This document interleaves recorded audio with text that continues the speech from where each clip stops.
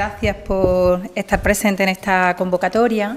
que cuando se acercan las convocatorias de pleno, el Grupo Socialista suele dar cuenta y con tiempo de cuáles van a ser las iniciativas que va a llevar a modo de moción en ese pleno ordinario. ¿no? Y en esta rueda de prensa y otra que convocaremos para el próximo lunes, justo antes de la Junta de Portavoces, tenemos intención de hablar, de dar los argumentos y sobre todo de dar a conocer eh, cuál es una de las mociones que vamos a presentar. Y esta eh, les va a sonar porque vamos a hablar del futuro de Córdoba y de las necesidades que tiene nuestra ciudad. Necesidades que tienen que ver con las inversiones que se vienen reclamando en esta ciudad a las distintas administraciones, muy especialmente a la Junta de Andalucía y también al Gobierno de España. Pero en este caso,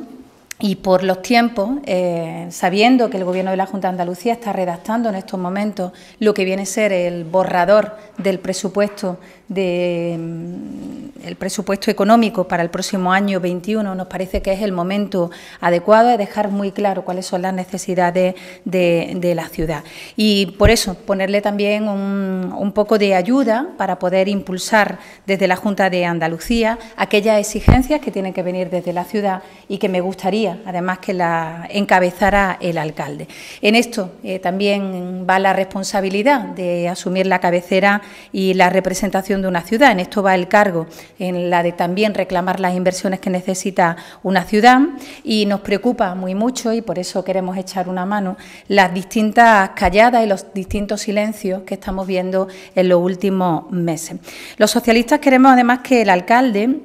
que hoy precisamente hemos conocido que se reúne con la consejera de fomento y van a ver que en la moción aparece casi el 70% de las propuestas y de las iniciativas que lleva esta moción dependen en gran medida de la Consejería de Fomento. Pues hoy que precisamente tiene este encuentro, le vamos a pedir que le reclame a la institución, que le reclame a la Junta de Andalucía lo que necesita nuestra ciudad, ni más ni menos. Entendemos además que es lo mismo que él exigía cuando estaba en la, oposición y que mm, al parecer van a poder tratar algunos de los temas y a mí me gustaría, insisto, que no se quedaran en el tintero algunos otros. Hemos ido y hemos sabido a través de los medios de comunicación que van a tocar el asunto de Ronda Norte y no encontrarán otra opinión por mi parte que no sea la de aplaudir que ya tengamos un documento sobre el que poder hablar y sobre la estrategia logística, que era después sí que me extenderé un poquito más. Pero insisto, esperamos que la reunión de hoy eh, sea un encuentro de trabajo de verdad, no sea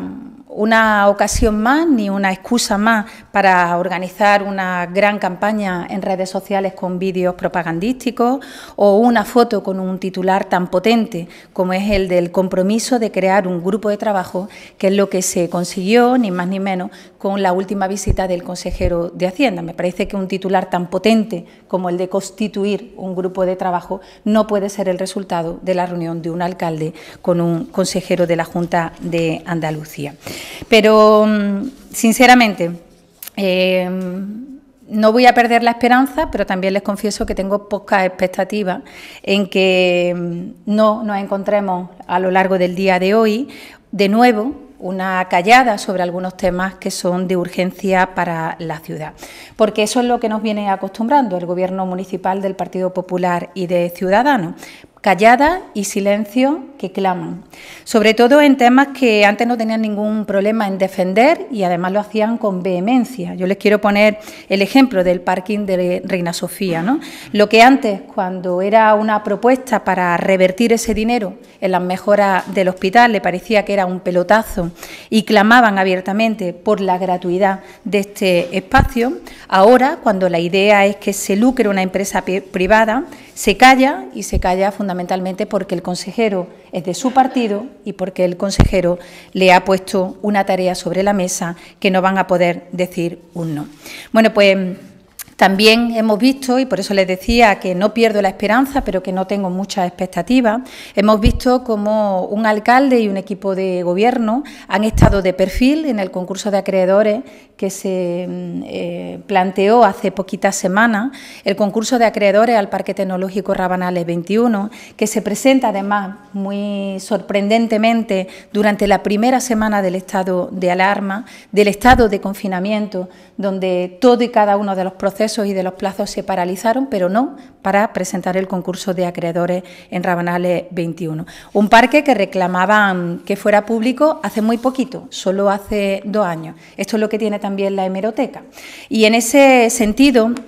es lo que yo vengo a, de alguna manera, a pedirle al señor Bellido. Y es que tiene que asumir que en el papel de alcalde hay que servir a los intereses de la ciudad para dejar de servir a los intereses partidistas o los intereses del Partido Popular. Los cordobeses tienen memoria, los cordobeses además recuerdan lo que reclamaban a diario cuando hace escasamente un año estaban en la oposición. Compromiso que además ahora tiene en su mano, tiene sobre la mesa y que tiene que reclamar que se cumplan. No todo vale cuando se llega al cargo, no todo vale cuando después de unas elecciones se asume una responsabilidad y ahora lo que toca es cumplir y exigir aquello que necesita la ciudad de Córdoba. Porque lo que sí vamos a estar muy atentos para que no sea olvidadizo y para que no sea hablando en las reclamaciones del refuerzo necesario y oportuno que en el anexo de inversiones necesita nuestra ciudad. Porque además eh, en estos días eh, creo que se lo estamos poniendo fácil para que la situación de Córdoba en ese anexo de inversiones de los presupuestos para el 2021 mejore. Tiene que hacer muy poquito, simplemente sacarnos de la cola, porque éramos la penúltima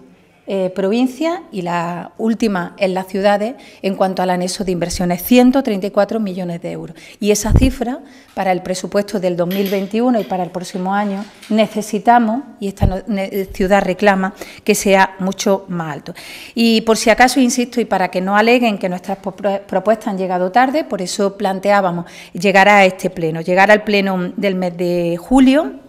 y para que no se deje ninguna eh, inversión atrás, eh, le vamos a pedir al conjunto de los grupos municipales ese mm, anexo de inversiones que tienen pendiente en esta ciudad y que además durante los cuatro años que yo he tenido la responsabilidad de ser alcaldesa no me he cansado de pedir y de exigir no solo en reuniones. De hecho, esta moción que presentamos se parece muchísimo a la que eh, presentamos en febrero del 2019, cuando el Partido Popular estaba en la oposición, pero también muy parecida a la que presentamos en julio del 2019, cuando el Partido Popular ya estaba en el Gobierno. ¿Saben cuál es la diferencia? Que en febrero del 2019 el Partido Popular en el Ayuntamiento de Córdoba estaban en la oposición y en el Gobierno de la Junta de Andalucía estaban ya en el Gobierno y el Partido Popular de Córdoba se abstuvo. ¿Y saben lo que ocurrió en julio del 2019 cuando el Partido Popular tenía la responsabilidad tanto del Gobierno de la Junta como del Gobierno municipal? Que votaron en contra. Y eso es lo que esperamos que no vuelva a ocurrir en esta ocasión. Eh, insisto, porque es una cuestión de coherencia. A mí me han escuchado reclamar al Gobierno central y al autonómico durante mis cuatro años las inversiones pendientes en esta ciudad, desde la conexión de la carretera de Palma del Río con la carretera del aeropuerto para poner en valor esa estrategia logística, hasta las estaciones de cercanías, el Museo de Bellas Artes, la salida a la autovía por las quemadas o las nuevas comisarías. Esas eran las tareas pendientes del Gobierno de España con la ciudad de Córdoba. Y no cesé también en reclamar la continuidad en, la ampliación del Hospital Reina Sofía, en los centros de salud de Alcolea y Villarrubia, así como las mejoras y la continuidad en el programa de climatización de los colegios. Y, mm, lo mismo que hacía el señor Bellido hace un año desde la oposición, pues ahora desde el Gobierno y por coherencia, la Junta de Andalucía debe de conocer de manos de su representante en el Ayuntamiento de Córdoba y además siendo de la misma formación política, eh, cuáles son las reclamaciones que sigue exigiendo esta ciudad. Porque pedir y exigir a los suyos también es lo que le da coherencia y hay que tener ese mismo discurso cuando se está en la oposición que cuando se está en el Gobierno. Y hay que tener también la misma valentía para poner los intereses de la ciudad por encima de los intereses partidistas. Y mm, paso a hacerles un desglose en, esa parte de ayuda y de colaboración que el Grupo Socialista va a hacer en esta moción, que es ponerle eh, nombres y apellidos a cada una de esas inversiones que tiene pendiente esta ciudad. Estamos hablando de un acuerdo en el que se contempla un plan de desarrollo industrial y empresarial para la ciudad de Córdoba, un acuerdo para llevar a cabo la Escuela de Hostelería, el Centro Cultural de, Miraflores, un plan de empleo para los barrios que tienen más dificultades en nuestra ciudad, como son el Distrito Sur, Morera y Palmera, y que le haga entender también al Gobierno de la Junta de Andalucía que la ciudad de Córdoba tiene una realidad que se llama periferia y que esa periferia necesita de centros de salud, en este caso tanto en Alcolea o en Villarrubia, para poder garantizar la prestación de la atención sanitaria. Y les decía, em, en el contenido de los acuerdos de la moción hay una parte importante que tiene que ver con las competencias y con las tareas de la Consejería de Fomento. Desde la reactivación del convenio de conexión para la carretera de Palma del Río con la carretera del aeropuerto, la conexión por autovía entre dos capitales como las de Córdoba y Jaén, la finalización de la ronda del, Marrubial, el desdoble de la carretera de Palma del Río o el cercanía entre Villa del Río y Palma del Río. Y hay dos asuntos en los que yo los quiero dejar para el final, porque es lo que hemos conocido como el adelanto de lo que va a ocurrir hoy en, el despacho del alcalde de la ciudad. Y es que supongo que traerán una propuesta sobre la conexión de la Ronda Norte, ese tramo que queda eh, anexo al de competencia municipal. Insisto, yo aplaudo que ya hoy tengamos un documento sobre el que poder opinar, sobre el que poder empezar a, a trabajar. Y hemos escuchado otra vez, también a través de los medios de comunicación que hay un anuncio en materia de logística. Yo espero que sea, porque es su ámbito de competencia fundamental, que vamos a tener la oportunidad a partir de ahora de poner en venta las parcelas del parque logístico. Me parece que es una buena opción para seguir trabajando en la estrategia logística, pero me gustaría que no se quedara ahí la apuesta de la estrategia logística en la ciudad de Córdoba por parte de la Junta de Andalucía. La declaración de espacio de interés autonómico en el entorno de Liguerón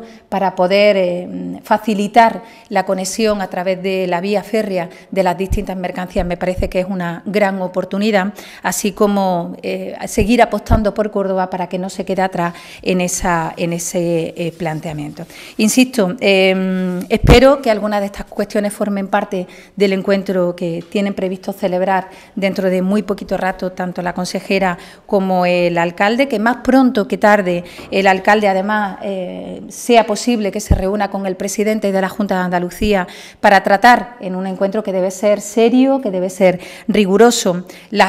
aquellos temas que tiene pendiente el Gobierno de la Junta de Andalucía con esta ciudad y que exista un compromiso claro nítido y que se puedan materializar de que estas partidas presupuestarias que necesita la ciudad de Córdoba se contemplan en el presupuesto de la comunidad autónoma para el año que viene. Em, yo no le voy a pedir que lo haga con la misma vehemencia que lo hacía cuando estaba en la oposición. Yo le voy a pedir que lo haga con la misma coherencia de pedir aquello que necesita la ciudad de Córdoba y que sea además una actitud valiente y responsable, que es lo que necesita el gobierno de esta ciudad, porque es lo que necesita esta ciudad. Por coherencia y por respeto al sillón que ostenta, mm, el señor Bellido no puede dejar pasar esta oportunidad, no puede eh, consentir que esta ciudad siga siendo el ninguneo del gobierno de la Junta de Andalucía en los presupuestos del año 21, igual que lo ha sido en los presupuestos del año 20. Y dejar a un lado los intereses del partido y poner por delante los intereses de la ciudad, yo insisto, es un gran consejo que yo le doy porque al Grupo Socialista le fue bien en los resultados electorales de las elecciones del 2019, siendo coherente, siendo valiente y poniendo los intereses de la ciudad por encima de la organización política a la que pertenezco. Así que ese era el motivo de esta convocatoria. Insisto que se complementará con la moción que presentaremos después de la Junta de Portavoces el próximo lunes y que será eh, la segunda propuesta que lleve el Grupo Socialista a este pleno ordinario del mes de julio. ¿Alguna pregunta? En concreto, lo que propone el punto de acuerdo es que haya colaboración en el Ayuntamiento Junta para todos los proyectos y sobre todo que exista mm, una negociación previa para garantizar que hay una partida presupuestaria que contemple estos proyectos en el presupuesto del 2021. No todos están en el mismo lugar. No puede ser lo mismo el Centro de Salud de Villarrubia, que está pendiente de que el Ayuntamiento de Córdoba lo que haga es... Em, donar un espacio para que se pueda empezar a redactar el proyecto, que el retraso que ya lleva y que acumula año y medio eh, el proyecto del Centro de Salud de Alcolea. No puede ser lo mismo la Ronda Norte, que supongo que hoy tendremos alguna noticia, que poner en valor el desdoblamiento de la 431, la carretera que une Córdoba con Palma del Río. Mm,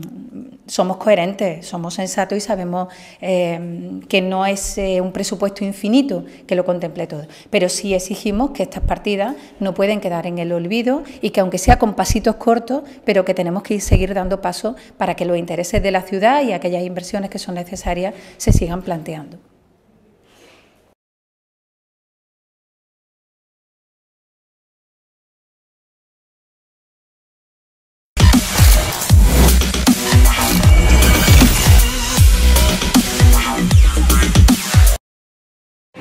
Llegan nuevos días,